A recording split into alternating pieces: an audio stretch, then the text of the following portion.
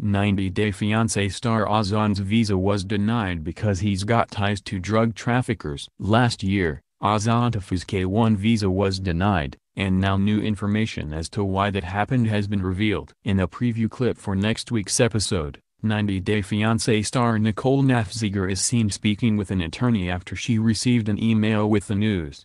So, have you seen something like this before? She asked her attorney, to which they responded, no, before adding, he's got ties to drug traffickers. Wait, what? As a result, fans of the hit TLC show are now worried about Azan and Nicole's relationship. The couple has been going strong with plans to marry, but back in December, 90 Day Fiancé YouTuber Keith Books spilled the beans about his denial. Azan's visa. Well, I'm just going to come out and tell you right now. It was denied, he explained. He had his interview November 21, and like I said in yesterday's video, he had to bring further documentation before they would approve or deny it. Now, normally they just want to make sure that everything is in the paperwork so they can prove that they did an investigation. He had to bring documentation in before they could say yes or no. While some fans were disappointed to hear the news at the time, others felt like it was a good thing. Some viewers thought that Azan wasn't genuine and shouldn't be allowed into the country. Extremely overjoyed of Azan's visa denial,